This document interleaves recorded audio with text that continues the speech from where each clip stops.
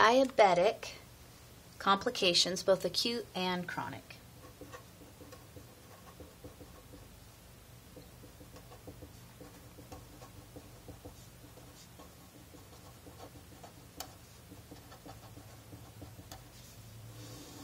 Okay, I'm going to start with just a brief description of the difference between type 1 and type 2 diabetes.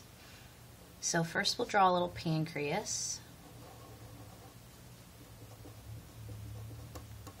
And the pancreas contains a variety of cells that make different products, but the beta cells are those that make insulin. And in type 1 diabetes, what happens is the white blood cells attack and destroy the beta cells that make insulin. So it's pretty tragic, and it is an autoimmune disease.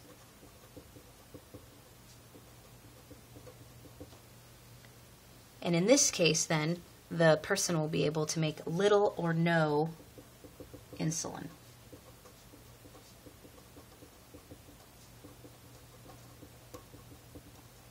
Type 2 diabetes is different. In this case, what's happening is that the, the insulin demands in the body are so high that the pancreas can't keep up with it.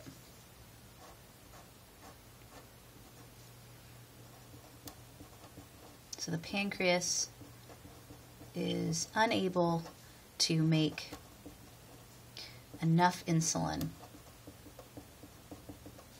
for exceptionally high needs.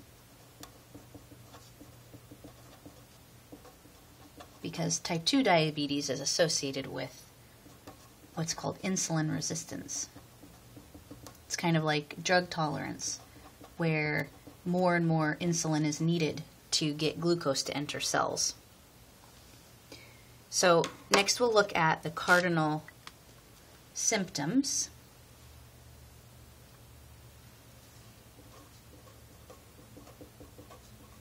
Diabetes. These are the reasons and the symptoms that would send someone to the doctor. Um, if it's a chronic kind of thing, anyway, this could act, they could end up with an acute case. So, hyperglycemia is one thing that they would be testing positive for. So, they would have high blood sugar after eating, and usually in the morning and this would be because no matter how much, in the case of type 2 diabetes, no matter how much insulin they're still able to make, it is not enough to allow glucose to enter cells. Polyuria is another symptom, and that is frequent urination, and it's basically because they're peeing out um, excess glucose that they are unable to um, absorb into cells because of a lack of insulin. Because they're urinating so much, they're thirsty, they're getting dehydrated.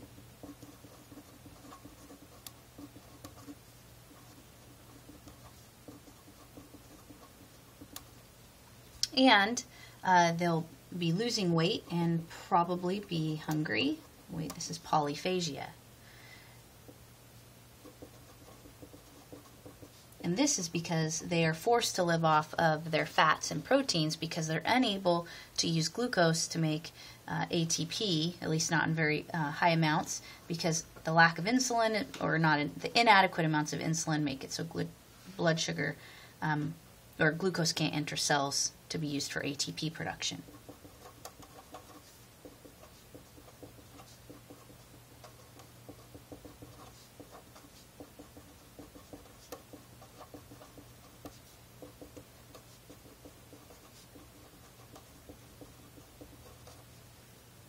So these are the main symptoms. So the cardinal symptoms would be hyperglycemia, high blood sugar, polyuria, frequent urination, polydipsia, very thirsty. Oops, I said dehydrated, but so they're thirsty because they're dehydrated. So the, the polydipsia is actually the thirsty symptom. And then polyphagia means they're hungry, usually accompanied with um, unexplained weight loss. Um, and then they go to the doctor. So these are the cardinal symptoms. And then this first box would be a very cursory difference between type 1, type 2 diabetes. Type 2 diabetes is the one that is associated with lifestyle, meaning basically diet and exercise or lack thereof. Type 1, as I mentioned already, is an autoimmune disease. In the old days, it primarily was a problem that children would get, and type 2 diabetes was a problem that primarily adults would get, although we're seeing more and more children with type 2 diabetes, so they don't usually call this adult onset anymore, as was common for a long time. Okay, now let's look at acute crisis of diabetes. And we'll do this one in purple.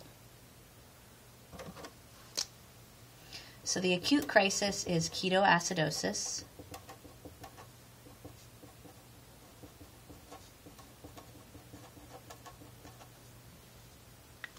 And what happens is that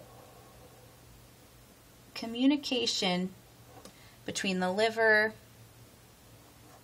the fat cells, and the pancreas is not working right.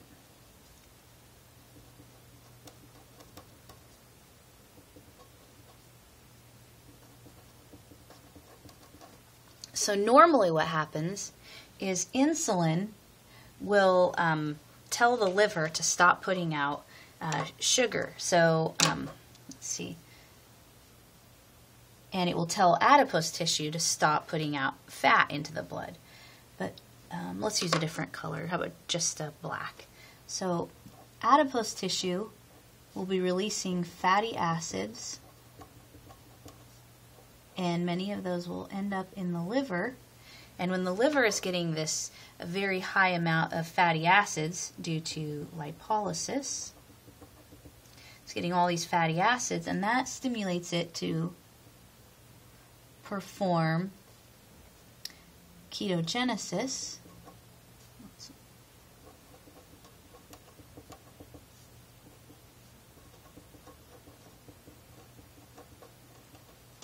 And these ketones can be used as energy in the blood, but you don't want to have too many of them because they make the blood acidic. So we all have normal amounts of these from time to time, and it's perfectly healthy. The liver will also be putting out um, more sugar by breaking down its glycogen.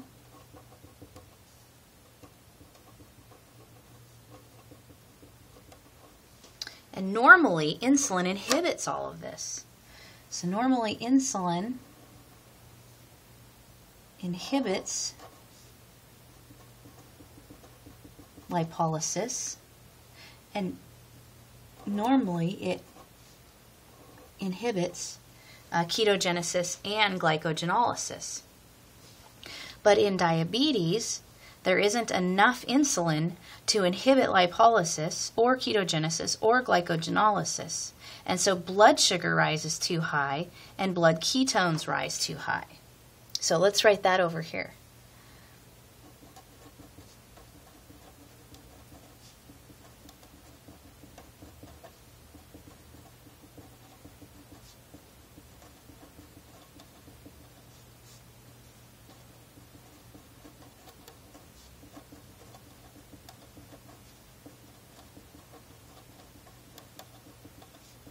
or to um, increase um, cellular oops, uptake of glucose. So, blood glucose goes too high after a meal and in the morning, and ketones go too high.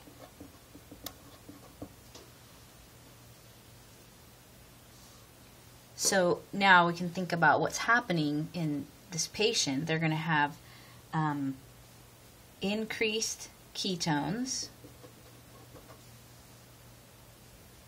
which acidify the blood too much.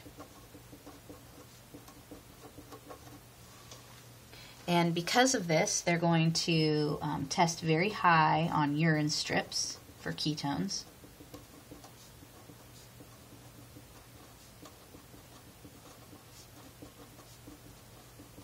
And like I said, we can all make ketones, and normally insulin will inhibit us from making too many ketones. But in a diabetic, they can't make enough insulin to inhibit too much keto acid or ketogenesis. And then also because of um, the patient will be panting or breathing rapidly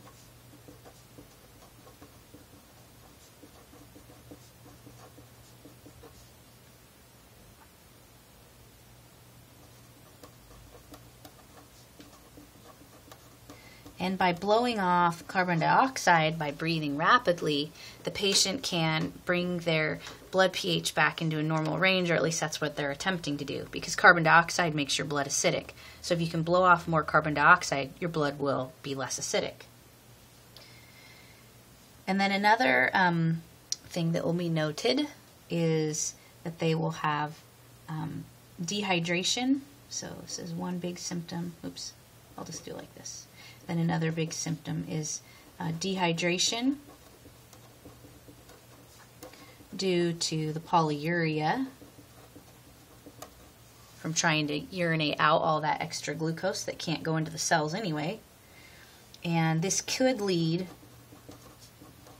to hypovolemic shock.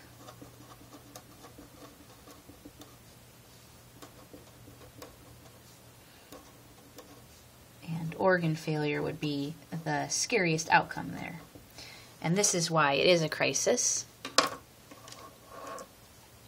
And then the cure for the crisis is, you guessed it, an insulin injection.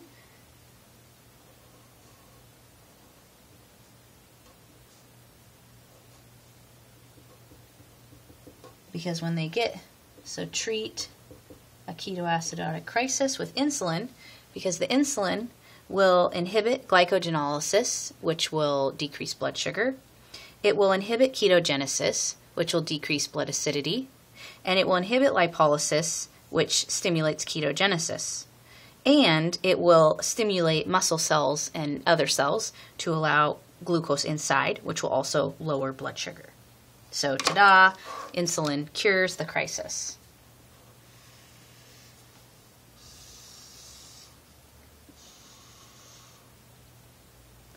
Okay, and then the bottom of the page, we're going to talk about chronic complications of diabetes. And those really come down to um, blood vessel damage by high blood sugar. So, chronic complications are um, blood vessel and nerve, oops, vessel and nerve damage and also infections and poor wound healing. So, blood vessels are damaged by high blood sugar.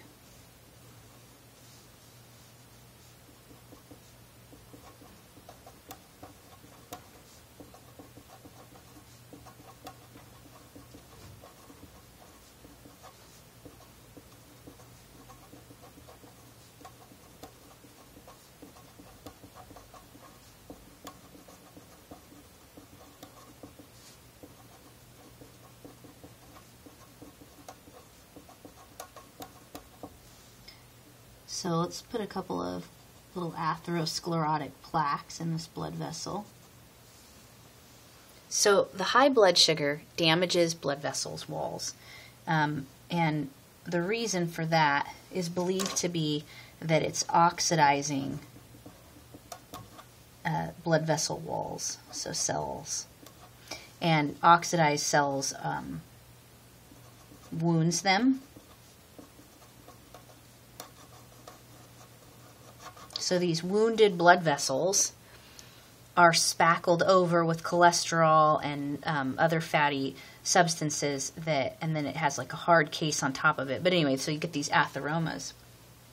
And that, therefore, helps to understand why diabetics have more heart disease and strokes because they have clogged arteries on in their coronary arteries and in their brain It also helps us understand why they have vision loss because the blood vessels that lead to the retina are damaged and then that causes vision loss. It also helps us understand why they have kidney damage. Because these are capillaries damaged. And then that um, uh, over time damages the organ itself. They also have neuropathies or, or, a, or decreased sensation in their extremities. And this um, might be because of chronic high insulin levels if they're type 2 diabetic. It might be because of blood vessel damage. And some people believe that the high blood sugar and the insulin itself is damaging the nerve endings. Don't understand all of what's going on there, but we do know that um, the chronic complication can be neuropathy. And then you have a bad situation where um, if they have a decreased sensation in their extremities and then they stub their toe, now the high blood sugar um, causes poor wound healing and also um, the high blood sugar uh, encourages pathogenic growth. So it's more likely they'll get an infection because pathogens love sugar.